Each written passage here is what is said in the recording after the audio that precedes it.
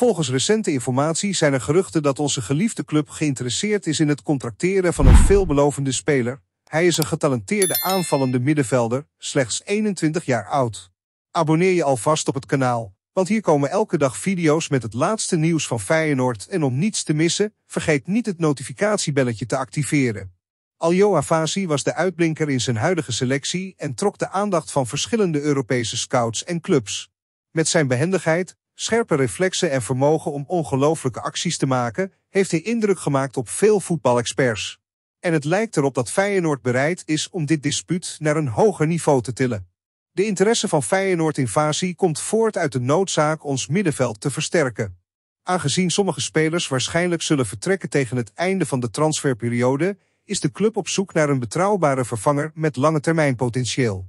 De technische staf heeft Fasi meermaals gescout en is ervan overtuigd dat hij een geweldige aanvulling op onze ploeg zou zijn. Bovendien staat Feyenoord bekend om het ontwikkelen van jong talent en het bieden van een omgeving die bevorderlijk is voor hun groei.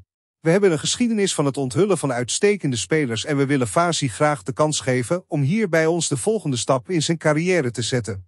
Fasi had vorig seizoen een indrukwekkend seizoen voor de Serie C-club, speelde 37 competitieve wedstrijden, scoorde 8 doelpunten en gaf 4 assists. Deze cijfers tonen zijn potentieel en wat hij ons team kan brengen.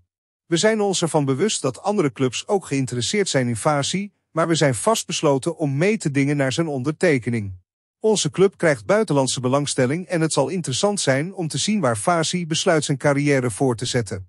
En nu, Feyenoord-fans, wil ik iets van jullie horen. Wat is jouw mening hierover? Zet je mening in de comments. Ik weet niet of je het weet, maar jouw mening is heel belangrijk voor Feyenoord. Laten we op de hoogte blijven van de volgende ontwikkelingen, Feyenoord-fans. Volg het nieuws om erachter te komen of deze speculatie uitkomt en of Aljoa Fasi volgend seizoen bij onze kast komt. Met een beetje geluk zien we dit talent in actie onze kleuren verdedigen en Feyenoord nog meer laten stralen.